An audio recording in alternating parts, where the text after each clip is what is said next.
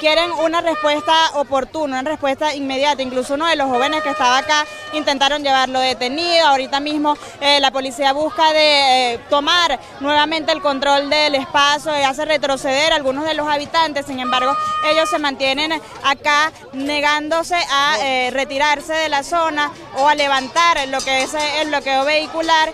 Sin embargo, al parecer se está dando en este momento comienza ya eh, la Policía Nacional a eh, tomar el control del espacio, las personas se suben a la isla para justamente eh, obedecer las instrucciones que está dando la Policía Nacional Bolivariana. En realidad están echando justamente a esta hora gas pimienta, es lo que está utilizando ahora mismo la policía. Vamos a pedirle a Víctor Rodríguez que dé imágenes, de imágenes justamente de lo que...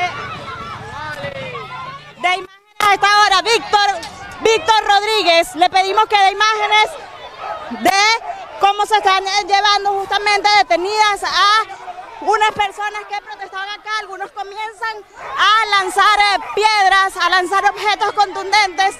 Y la policía rocía gas pimienta a quienes están acá eh, manifestando en eh, la parroquia Santa Rosalía, algunos niños presentes también acá, la policía incluso con presencia de los niños roceó gases.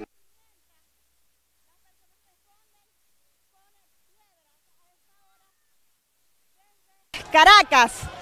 La manifestación, repetimos, comenzó en exigencia al servicio de agua potable en la zona y eh, la Policía Nacional Bolivariana, acompañados de la Guardia Nacional Bolivariana, comenzaron pues a repeler a las personas eh, con gas pimienta, también incluso lanzaron piedras, objetos contra quienes estaban manifestando para levantar el bloqueo vehicular que se daba acá. Tienen justamente las imágenes de los funcionarios levantando los obstáculos que están en la vía y también de eh, las personas tratando un poco de responder a eh, la represión que se está dando acá en la parroquia Santa Rosalía.